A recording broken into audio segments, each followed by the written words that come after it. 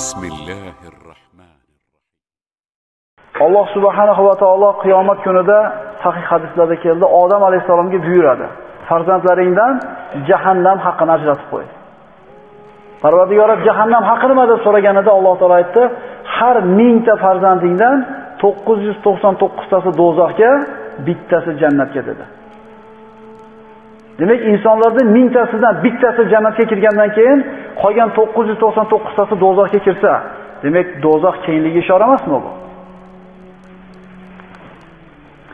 Alloh subhanahu va taolo jahannamning chuqurligi uning kengligi haqida nima deydi?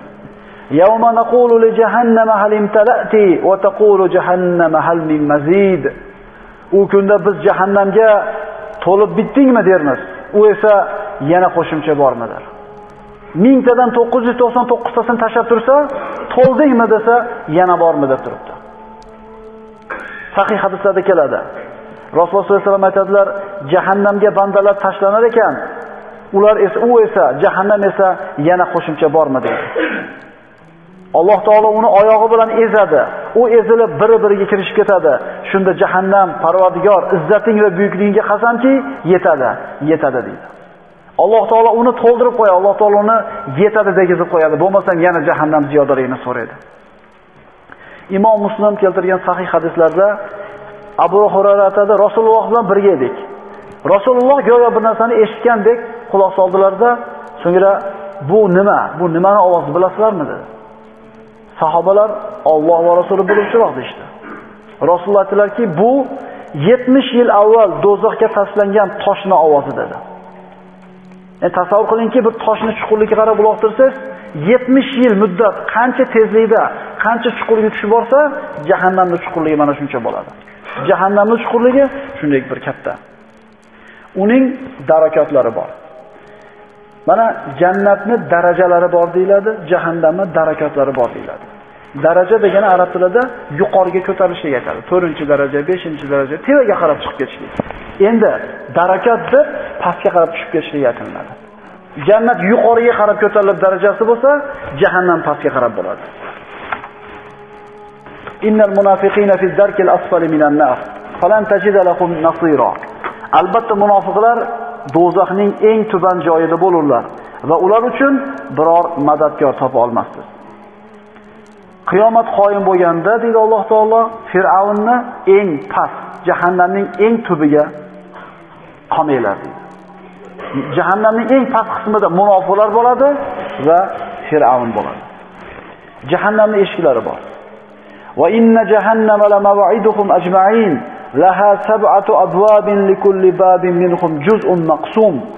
U kimsalarning barchalari uchun va'da qilingan joy shak shubhasiz jahannamdir. Uning yetti darvozasi bo'lib har bir darvozadan ularning bir to'dasi kirur. Ali ibn abi tolib aytadi jahannamni eshiklari bizni dunyomizni eshigidaqa yonma yon turmaydi. Jahannamni eshiklari birini ostida ikkinchisi ikkinchisini ostida uchinchisi. Pastga qarab tabaqama tabaqa pastga qarab tushib ketadi. Har bitta eshikdan o'tilinganda u azob o'zidan keyingi azobdan yengilroq bo'ladi. Ya'ni eshikni oxirlab pastga qarab tushib borar ekan azobi yana ham shiddatlashib qattiqlashib boradi. Jahannamga kirgan kishilar o'zlarining qilgan kufr isyonlari gunohlarga yarasha ana shu eshiklarni birortasida to'xtaydi. Jahannamning issig'i tutuni va qattiqligi. Albatta bu haqida juda ko'p hadislar juda ko'p oyatlar keltirilgan. Lekin vaqt tejashlik maqsadida qisqa bitta oyat bitta hadis berib ketilyapti. Va ashabu shimali ma ashabu shimal fi samumin va hamim va zillin min yahmum la baridin va la karim. Chap tomon egalari. Chap tomon egalari bo'lmoq ne baxtsizlikdir. Ular dozoqdan tinimsiz esib turadigan badanlarni ilma teshik qilib yuboruvchi samum shamoli va qaynoq suv ichida va na salqin na foydali bo'lmagan qora tutandan iborat soya ostida. Ularni soyasi ham mana shu jahannamning o'tidan bo'lgan jahannamning tutunidan bo'lgan soyada. Ularning salqini o'zi azob bo'ladi. Intaliqu ila zilli salasi shu'ab la dalilin va la yughni min al-lahab innaha tarmi bi shararin kal qasr ka'annahu jimalatun sufr jahannam jahannamda yonayotgan do'zaxlardan ko'tarilayotgan badbo'y tutundan iborat osmonga o'ralgan sari bo'linib ketgan uch bo'lakli, hech qanday salqinlik bermaydigan va do'zax alangasi ham to'smaydigan soyaga boringlar. Darvoqe u jahannam har tomonga har biri qasrdek xuddi sariq tuyalarga o'xshagan uchqunlarni otib turur. Qasrdek keladigan uchqunlar otib turadi, bu sariq tuyalarga o'xshaydi. Kitobda, sunnatda do'zaxiylarning sifati mufassal bayon qilindi. Dunyoda solih kishilarning peshvolari bo'lgandek, fojir kofirlarning ham peshvolari bor. Xuddi shunga o'xshagandek, jahannamga kirgan kishilarning peshvolari, boshliqlari bo'ladi, yetaklovchilari bo'ladi, zuamo deyiladi arab tilida. Peshvolari bo'ladi. Shubhasiz, jahannamning peshvolarining eng kattasi iblis alayhi la'na. Avvalo kana ash-shaytonu yad'uhum ila azabis sa'ir. Agar shayton ularni o't azobiga chaqirib turgan bo'lsa ham Inna shaytona lakum aduwwun fattakhiduhu aduwwa innama yad'u hizbahu liyakunu min ashabis sa'ir. Aniqki shayton sizlarga dushmandir, bas uni dushman tutinglar. Shak shubhasiz u o'z firqasini, ya'ni o'ziga ergashgan kimsalarni do'zax egalari bo'lish uchun da'vat qilur. Odam alayhisalom tufaylik iblis jannatdan quvilganidan keyin Alloh taologa va'da berdi. qiyomatgacha o'lmaslik xatini Allohdan olgandan keyin qiyomatga qiyomatgacha o'lmasligini va'dasini olgandan keyin Alloh taolaga qasam ichib va'da berdi. Izzatingga qasam, shu odam tufayli haydaldimmi? Shu odam bolalarini, zurriyotlarini oldidan ham ortidan ham, o'ngidan ham chapidan kelib ko'pini adashtiraman, juda ko'pchiligini senga ergashmayotgan holda topasan dedi. Hozirgi kunda qarab turadigan bo'lsangiz, odamlarda juda ko'pchiligi Allohga itoat qilmayotganligini ko'ramiz. Hatto musulmonman deyotgan, namoz o'qiyotgan ba'zi bir odamlarda ham hayotda qilayotgan ishga qarasang, u iymoni, dini, namozi taqozosi bilan yashamayotganligini ko'rasan. Alloh taolo senga ergashganlar bilan jahannamni to'g'izaman dedi. O'zi inson biladi shaytonni gapi bo'layotganligini, faqat uni tamagisi kelmaydi. Jahannamning peshvolaridan Fir'avn yaqdumu qawmahu yawmal qiyamati fawradahumun nar fa bi'sa va bi'sal virdul mavrud. U Fir'avn qiyomat kunida o'z qavmini boshlab borib do'zaxga tushirur. U tushiladigan eng yomon joydir. Mana hayotda albatta kimdir kimgadir ergashadi. Biz ham o'zimizga qaraylik kimga erishyapmiz. kimlardan o'rganyapti? Shayton, Fir'avn va shunga o'xshagan peshvolar hozir ham yo'q emas oralarimizda.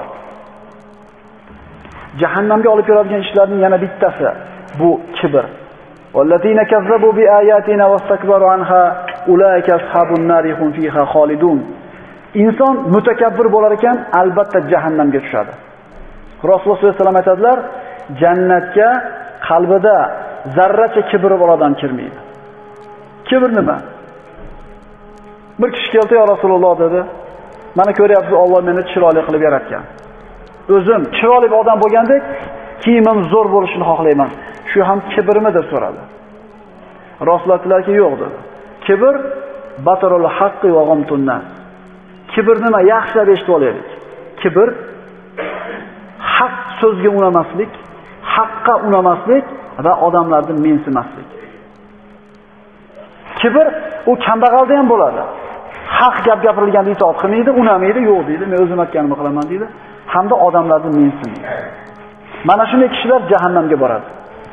Alloh taolo aytadi, bizning oyatlarimizni yolg'on degan va ulardan kibri havo bilan yuz o'girgan kimsalar esa do'zax egalaridir. Ular u joyda do'zaxda abadiy qolguchidirlar. Hadisda jannat bilan do'zax tortishdi. Jahannam aytdi, menga jabborlar, mutakabbirlar kiradi. jabbor odamiga jabr qilgan, zulm qilgan kishilar, mutakabbirlar mana shunday bir kibr qilgan kishilar. Alaysati jahannama maswan lil mutakabbirin? Yo jahannamda mutakabbir kimsalar uchun joy yo'qmi? Jahannam ahlining adadi katta. Mana aytib o'tdik, mingtadan 999 tasi do'zaxga kirib, bittasi jannatga kirgandan keyin do'zaxning kengligiga shu so'z o'zi kifoya qilmaydimi hujjatlikka? Dar haqiqat iblis ularning ustidagi men ularni yo'ldan ozdira olurman degan gumonini ro'yobga chiqardi. Bas faqat bir guruh mu'minlargina unga bo'yinsunmadilar. Hozirgi zamonda bo'layotgan zalolat to'lqini, har xil fitnalar, har xil firqalar, oqimlar, har xil bir botil mazhablar bostirib kelayotgan paytda bularga adashmasdan haq yo'lda turgan mu'minlarning soni ko'p bo'lmaydi.